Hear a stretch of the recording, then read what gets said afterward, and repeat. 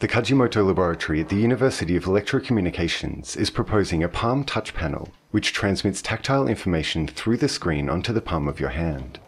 裏面が、まあ、こういった電気触覚ディスプレイになってましてタッチパネルに触れますと、まあ、その位置の電気触覚が、まあ、駆動されるわけですねでそうすることによって実際は画面に触れているんですけど画面を貫いて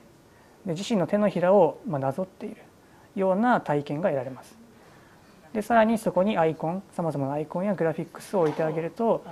そういったグラフィックスの感触も手のひらに伝わります Gel has been placed between the touch panel and the electrodes in this test device so that the electrode positions can better match the contours of the palm. When you are able to recognize screen information as tactile sensation in your palm, it allows for even more accurate touch panel operation, as well as enabling it to be used in games that utilize tactile stimulation. 例えば虫とかアリとかが本当に手のひらの上を張ってくるような感触そういったある種、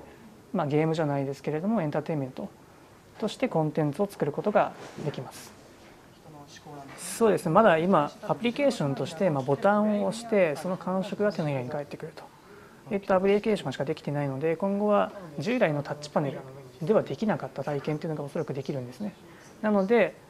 まあ、そういった体験を作るコンテンツを充実させていくっていうことをまずやっていきたいなというふうに考えてます。